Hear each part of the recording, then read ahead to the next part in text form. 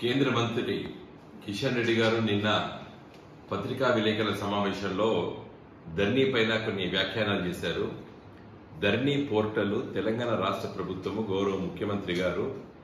తెలంగాణ రాష్ట్రంలో నాటి నైజాం సర్కార్ నుండి నేటి వరకు అంటే స్వాతంత్రం వచ్చిన తర్వాత గత డెబ్బై ఐదు సంవత్సరాల పరిపాలన లోపల కాంగ్రెస్ తెలుగుదేశం పార్టీ పరిపాలన చేసినటువంటి సమ- ఉమ్మడి ఆంధ్రప్రదేశ్ రాష్ట్రంలో తదనంతరము తెలంగాణ రాష్ట్రం వచ్చిన తర్వాత చూస్తే భూ వివాదాలు ముఖ్యంగా తెలంగాణ ప్రాంతాల్లో పట పూర్వపు కాలంలో పూర్వపు కాలంలో గ్రామీణ ప్రాంతాల లోపల రైతులు భూమి కొనేటప్పుడు గ్రామీణ ప్రాంతాల్లో కూడా రిజిస్ట్రేషన్లు చాలా తక్కువ చేసుకునేది. తెల్లకాయ పైన క్రయ విక్రయాలు జరిగేది తదనంతరం పానీ లోపల పేరు రావడము కొంతకాలం తర్వాత తహసీల్దార్ దగ్గర మరి దాన్ని నమోదు చేసుకోవడం ఇవంతా ఒక పెద్ద ప్రక్రియలాగా ఉండే.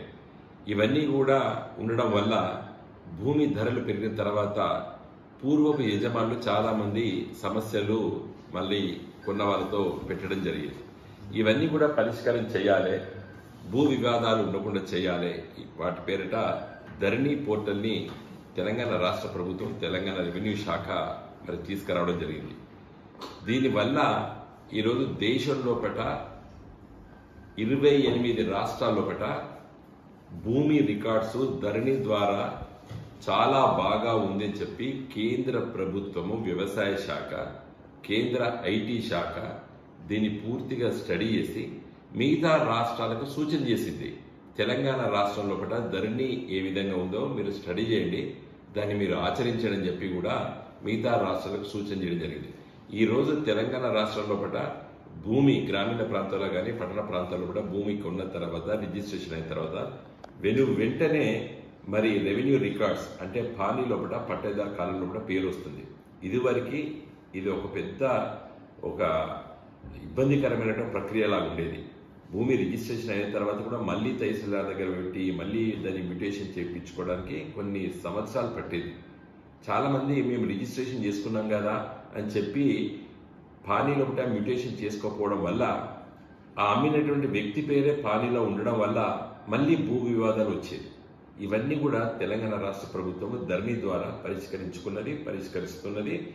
తెలంగాణలో లోపల తొంభై ఐదు శాతం ప్రజలు భూమి సమస్య పట్ల పరిష్కారం అయింది ధరణి ద్వారా అని చెప్పి ఆ నమ్మకంతో ఉన్నారు.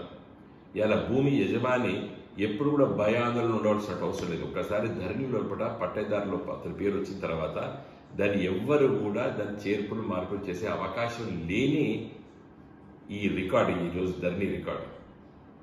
దీంట్లో మరి కిషన్ రెడ్డి గారు ధరణిలో వచ్చేటువంటి దరఖాస్తులన్నీ కూడా ప్రతిభవలో పరిష్కారం అయితే అని చెప్పి ఎంత హాస్యాస్పదమైనటువంటి మాటలండి కిషన్ రెడ్డి గారి.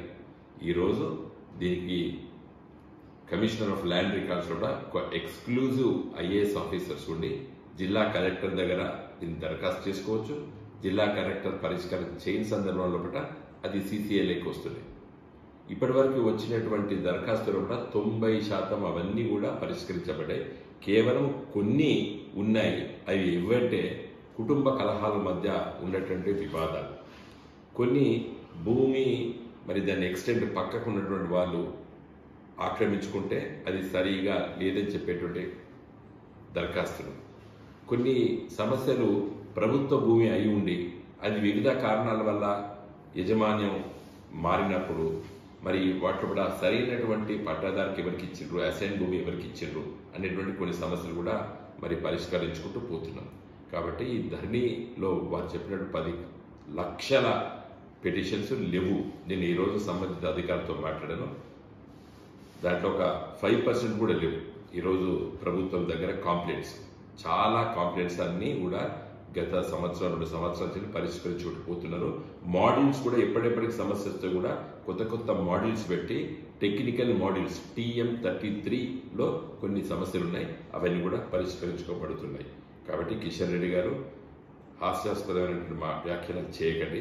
ఈరోజు మీ ప్రభుత్వమే కేంద్ర ప్రభుత్వమే తెలంగాణ మాడ్యూల్ ధరణి బాగా ఉందని చెప్పి మీ వ్యవసాయ శాఖ కేంద్ర ప్రభుత్వ వ్యవసాయ శాఖ అదేవిధంగా ఐటీ శాఖ చాలా రాష్ట్రాల సెక్రటరీస్ మంత్రుల దగ్గర చెప్పడం జరిగింది. తెలంగాణ రాష్ట్రం ధరణి పోర్టల్ తెలంగాణ ప్రజలకి ముఖ్యంగా గ్రామీణ ప్రాంత ప్రజలకి చాలా నమ్మకంతో ఉన్నారు. చిన్న చిన్న సమస్యలు వస్తే వాటిని పరిష్కరించడానికి ప్రభుత్వం సుముఖంగా ఉంది.